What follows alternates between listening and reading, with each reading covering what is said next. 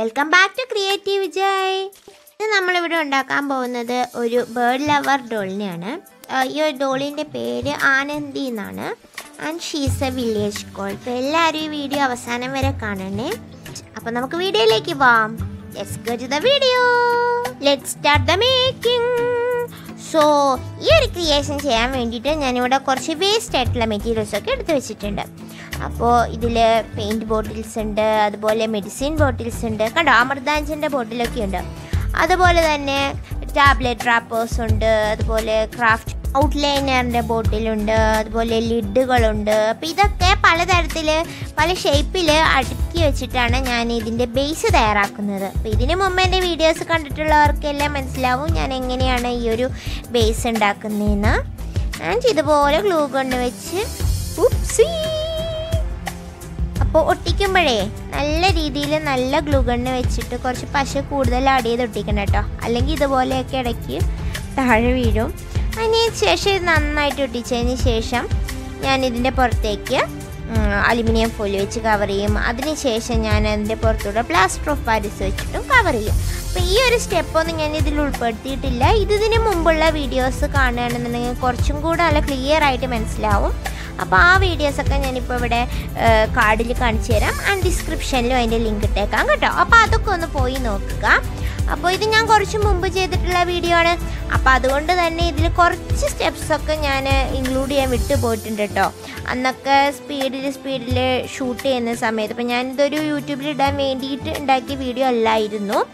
ഈ ഒരു ഡോളിന് കുറച്ചൊരു യുണീക്നെസ് ഉണ്ട്. അതുകൊണ്ടാണ് ഞാനിതിവിടെ പോസ്റ്റ് ചെയ്യാമെന്ന് വിചാരിച്ചത്. അപ്പോൾ ന്യൂ ക്രിയേറ്റീവ് വീഡിയോ എഡിറ്റിംഗ് തീർന്നിട്ടില്ല അപ്പോൾ ഈ ഈ ഐഡിയ നിങ്ങളോട് ഷെയർ ചെയ്യാമെന്ന് വിചാരിച്ചു. പഴയതാണെങ്കിലും ഓൾഡ് ഈസ് ഗോൾഡ് എന്നല്ലേ?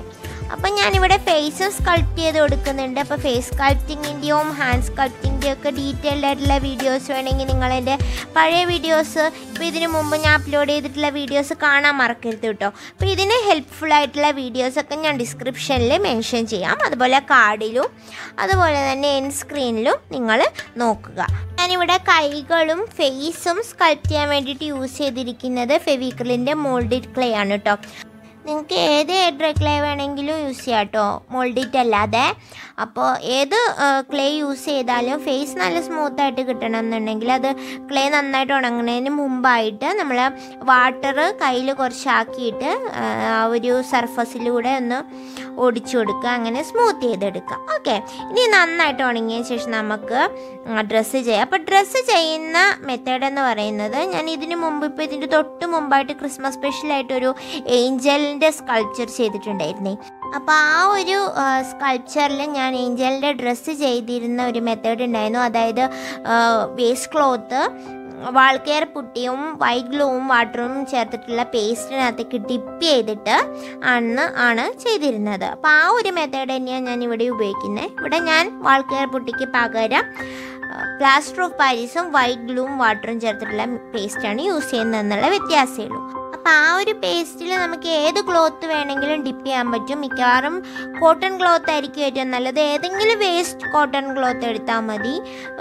കുറച്ച് ഡേർട്ടി ആയിട്ടുള്ള ക്ലോത്ത് ആണെങ്കിലും കുഴപ്പമില്ല. പഴയതാണെങ്കിലും കുഴപ്പമില്ല. എന്നിട്ട് നമ്മൾ ഇതിങ്ങനെ ഞൊറിഞ്ഞു കൊടുക്കുക അപ്പം ഞാനിവിടെ ഒരു ഹാഫ് സാരിയാണ് ഉണ്ടാക്കാൻ ഉദ്ദേശിക്കുന്നത്. അപ്പോൾ ബ്ലൗസ് ഞാൻ ഓൾറെഡി ചെയ്തു. അപ്പം ഞാനത് ഫസ്റ്റ് ടൈം ചെയ്യുന്നത് കൊണ്ട് ആ ഒരു ബ്ലൗസിന്റെ ഒരു പോർഷൻ ഞാൻ എടുത്തിട്ടില്ല കേട്ടോ അത് നമ്മൾ ഇതിന് മുമ്പ് സാരിക്കൊക്കെ ബ്ലൗസ് ചെയ്തിട്ടുണ്ട് അതിൽ ഒട്ടിച്ചിട്ട് ക്ലോത്ത് ഒട്ടിച്ചിട്ട് അത് തന്നെ ഈ ഒരു പേസ്റ്റിൽ മുക്കി എന്നുള്ള വ്യത്യാസമുള്ളൂ. അതുപോലെ സാരി ഉടിപ്പിക്കുന്നതും ഞാൻ കാണിച്ചിട്ടുണ്ട്. അപ്പോൾ അത് ജസ്റ്റ് ഈ ഒരു പേസ്റ്റിൽ മുക്കിയിട്ട് സാരി ഉടുപ്പിക്കുന്നു എന്ന് മാത്രമേ വ്യത്യാസമുള്ളൂ. അപ്പോൾ ഇതിനു മുമ്പുള്ള ഡോൾസൊക്കെ നിങ്ങൾ കണ്ടിട്ടുണ്ടെങ്കിൽ കുറച്ചും കൂടെ വ്യക്തമായിട്ട് അത് മനസ്സിലാവും. അപ്പോൾ ഇനി നമുക്ക് കയ്യിലൊക്കെയുള്ള ആഭരണങ്ങളൊക്കെ ചെയ്തു കൊടുക്കുക അതെല്ലാം ഞാൻ ക്ലേ വെച്ചിട്ടാണ് ചെയ്തു കൊടുക്കുന്നത്. അപ്പോൾ ഇതൊരു സ്കൾപ്ചർ മെത്തേഡിൽ തന്നെയാണ് ചെയ്യുന്നത്. അല്ലാതെ ഞാൻ ക്ലോത്ത് അല്ലാതെ ഡിസൈൻ ചെയ്തിട്ട് ഉടുപ്പിച്ച് കൊടുക്കുകയല്ല ചെയ്യുന്നത്. അങ്ങനെയും നമ്മൾ ഡോൾസ് ചെയ്തിട്ടുണ്ട്. അപ്പോൾ അതിന്റെ മേക്കിംഗ് വീഡിയോയും എന്റെ ചാനലിലുണ്ട്. അപ്പോൾ അതൊക്കെ കാണുകയാണെന്നുണ്ടെങ്കിൽ പുതിയതായിട്ട് കാണുന്ന ആൾക്കാർക്ക് അത് നന്നായിട്ട് മനസ്സിലാവും. അപ്പോൾ എല്ലാവരും ഈ വീഡിയോ അവസാനം വരെ കാണും എന്ന് ഞാൻ വിചാരിക്കുന്നു. അപ്പോൾ അവസാനം വരെ കണ്ടാൽ നിങ്ങൾക്ക് ഇതിന്റെ ഒരു മേക്കിംഗ് പൂർണമായിട്ട് മനസ്സിലാവുള്ളൂ. ആൻഡ് ഞാനിവിടെ ഇനി ഹെയർ ഒന്ന് ബ്രെയ്ഡ് ചെയ്തെടുക്കുന്നുണ്ട്. അപ്പോൾ പിന്നിട്ടിരിക്കുന്ന മുടിയാണ് ഇവിടെ ഞാൻ ഉദ്ദേശിക്കുന്നത്. കാരണം ഷീസ് എ വില്ലേജ് ഗേൾ അപ്പോൾ അതുകൊണ്ട് തന്നെ കൂടുതലായിട്ടുള്ള ഒരു ഒരുക്കം കാര്യങ്ങളൊന്നും ഞാനിവിടെ ഉദ്ദേശിക്കുന്നില്ല. അപ്പോൾ സാധാരണ നമ്മൾ സാധാരണ ഗ്രാമങ്ങളിലൊക്കെ പെൺകുട്ടികൾ എങ്ങനെയാണ് സാധാരണ മുടി പിന്നിയൊക്കെ അല്ലേ ഇടുന്നത് അപ്പോൾ ആ ഒരു ഇത് മാത്രമേ ഞാനിവിടെ കൊടുക്കുന്നുള്ളൂ. And she is a bird lover also അപ്പോൾ ഒരു പാരറ്റിനെയും കൂടെ നമുക്ക് ഉണ്ടാക്കി കൊടുക്കണം. അതുകൊണ്ടാണ് കേട്ടോ ഞാനിവിടെ വലത്തെ കൈ കുറച്ച് ഇങ്ങനെ പൊക്കി വെച്ചിരിക്കുന്നത്. അവിടെ പാരറ്റിനെ വന്ന് പറന്നു വന്നിരിക്കാനുള്ളതാണ് സോ ഇതുപോലെ തന്നെയാണ് നമ്മൾ ഏഞ്ചലിന്റെ ഹാൻഡും സ്കൾപ്റ്റ് ചെയ്തത്. ആൻഡ് പാരറ്റിനെ ഞാൻ ഉണ്ടാക്കി കൊടുത്തിട്ടുണ്ട്. ഇനി നമുക്ക് നന്നായിട്ട് ഉണങ്ങിയിട്ടുണ്ട്. നമ്മൾ ക്ലോത്ത് ഡിപ്പ് ചെയ്തിട്ട് എടുക്കുന്നത് കൊണ്ട് തന്നെ അത് ഉണങ്ങാൻ കുറച്ച് ടൈം എടുക്കും കേട്ടോ അപ്പോൾ നമ്മൾ ഒരു രാവിലെയൊക്കെ ഉണ്ടാക്കി കഴിഞ്ഞാൽ വൈകുന്നേരം വരെയെങ്കിലും എടുക്കും. അതൊന്ന് ഉണങ്ങാൻ വേണ്ടി ചിലപ്പോൾ അതിനെക്കാട്ടിലും കൂടുതൽ ടൈം എടുക്കും ക്ലോത്തിന്റെ രീതി അനുസരിച്ച്. കുറച്ച് കട്ടിയുള്ള ക്ലോത്ത് ആണെങ്കിൽ കുറച്ചും കൂടെ ഉണങ്ങാൻ ടൈം എടുക്കും. ഞാനിവിടെ ബോഡി പെയിന്റ് ചെയ്യാൻ വേണ്ടിയിട്ട് എടുത്തിരിക്കുന്നത് അക്രിലിക് പെയിന്റാണ് ഞാൻ മിക്കവാറും അക്രിലിക് പെയിന്റിന്റെ കൂടെ കുറച്ച് സിമെന്റ് പ്രൈമറും കൂടെ മിക്സ് ചെയ്തിട്ടാണ് പെയിന്റ് ചെയ്യാറ്. സ്കിന്നിന്റെ പോർഷനിൽ കാരണം എനിക്ക് കൂടുതൽ ഗ്ലോസി ഫിനിഷും അല്ല കൂടുതൽ മാറ്റ് ഫിനിഷും അല്ലാതിരിക്കാൻ വേണ്ടിയിട്ട്. അത് ഞാൻ ഇതിന് മുമ്പുള്ള ഒരു വീഡിയോയിൽ ഞാൻ വ്യക്തമായിട്ട് അത് പറഞ്ഞാണ്. അപ്പോൾ അത് നമുക്ക് നല്ലൊരു ഒറിജിനാലിറ്റി കൊടുക്കും സ്കിന്നിന് അതിന് വേണ്ടിയിട്ടാണ്. അപ്പം ഞാൻ ഇനി നമ്മുടെ സ്കേർട്ടിനും അതുപോലെ തന്നെ ധാവണിക്കും ഒക്കെ കളർ കൊടുക്കാൻ പോവാണ്. അതിനും ഞാൻ അക്രിലിക് കളർ തന്നെ അതിനകത്ത് സിമെന്റ് പ്രൈമർ ഒന്നും മിക്സ് ചെയ്യണം എന്നില്ല നേരിട്ട് തന്നെ നമുക്ക് അടിച്ചു കൊടുക്കാവുന്നതാണ്. നിങ്ങൾക്ക് ഇഷ്ടമുള്ള ഏത് കളർ കോമ്പിനേഷനിൽ വേണമെങ്കിലും ഈ ഒരു ഡ്രസ്സിന് കളർ കൊടുക്കാം കേട്ടോ പാരറ്റിന്റെ മേക്കിങ്ങും ഞാൻ ഇതിൽ ഇൻക്ലൂഡ് ചെയ്തിട്ടില്ല. ഈ ചെറിയ ചെറിയ ഡീറ്റെയിൽസ് ഒക്കെ ഇതുപോലെ വിട്ടുപോയതാണ്. ഇതിന് മുമ്പത്തെ വീഡിയോ ആയതുകൊണ്ടാണ് നിങ്ങൾക്ക് മനസ്സിലാവും. ഞാൻ ന്യൂ ആയിട്ടുള്ള ക്രിയേഷൻസ് അപ്ലോഡ് ചെയ്യുന്ന സമയത്ത് അതിൽ നല്ല ഡീറ്റെയിൽഡ് ആയിട്ടാണ് വീഡിയോസ് ചെയ്യുന്നത്. അപ്പോൾ നിങ്ങൾ ആ വീഡിയോസൊക്കെ ഒന്ന് കാണുക. അപ്പോൾ പുതിയ പുതിയ വീഡിയോസാണ് ഇനി വരാൻ പോകുന്നത്. സോ അതുകൊണ്ട് നിങ്ങളുടെ support is very important to me also sculpting is not easy ഞാൻ ഇതിന് മുമ്പ് പറഞ്ഞിട്ടുള്ളത് പോലെ എന്ന് വെച്ച് ഇത് കുറച്ച് അഡ്വാൻസ്ഡ് ആയിട്ടുള്ള ക്രാഫ്റ്റ് ആണ് എന്ന് വെച്ചിട്ട് കാണാതിരിക്കരുത്. കാണുകയാണെങ്കിൽ വീഡിയോ മുഴുവനും കാണാൻ ശ്രമിക്കുക.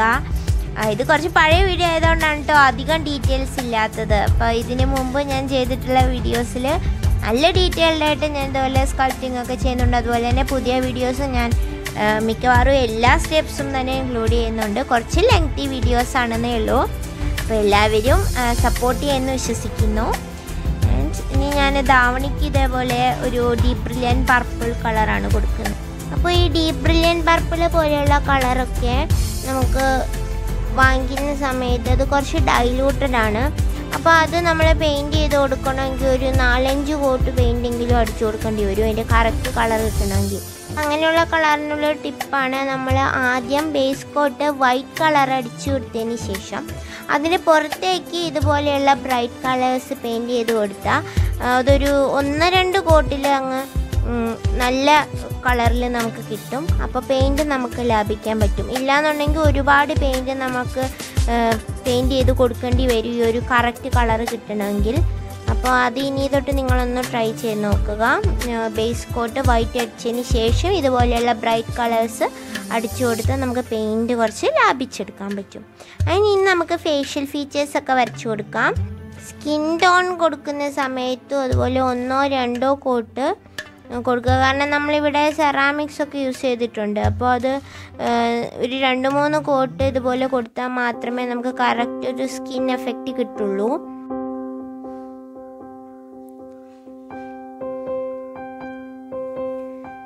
ഇനി കുറച്ച് ഗോൾഡ് കളർ എടുത്തിട്ട് അത് നമുക്ക് ഡ്രസ്സിലും അതുപോലെ ഓർണമെന്റ്സിലും ഒക്കെ ആഡ് ചെയ്ത് കൊടുക്കാം.